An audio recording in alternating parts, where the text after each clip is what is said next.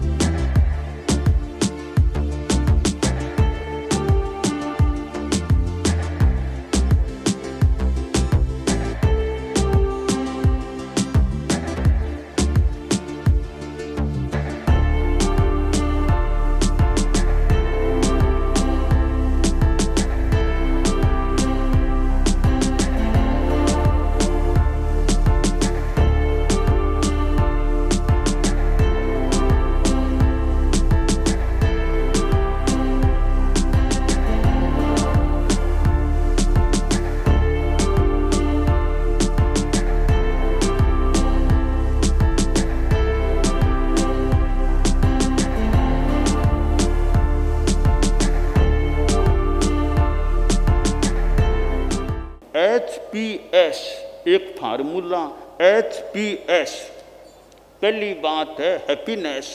प्रसन्नता रहनी चाहिए, मन में तनाव नहीं। आपके पास काम बहुत हैं, बहुत लोड है, पर हैप्पीनेस वो ख़त्म नहीं हो, प्रसन्नता रहे। ज़्यादा टेंशन नहीं हो। नंबर एक की बात।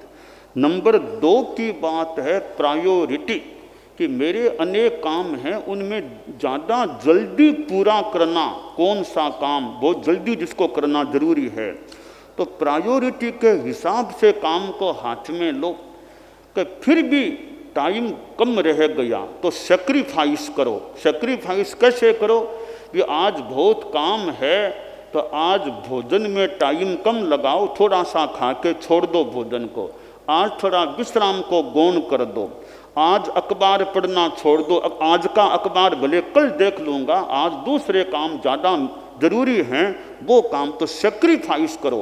अखबार पढ़ने का सेक्रीफाइस थोड़ा विश्राम का सेक्रीफाइस थोड़ा भोजन का सेक्रीफाइस टीवी देखने का थोड़ा सेक्रीफाइस ये कर दिए, इन कामों में समय लगाऊँ।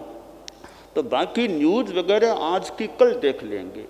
तो यो हैप्पीनेस प्रायोरिटी और सेक्रीफाइस इन तीनों के द्वारा कार्य में कुशलता का विकास हो सकता है।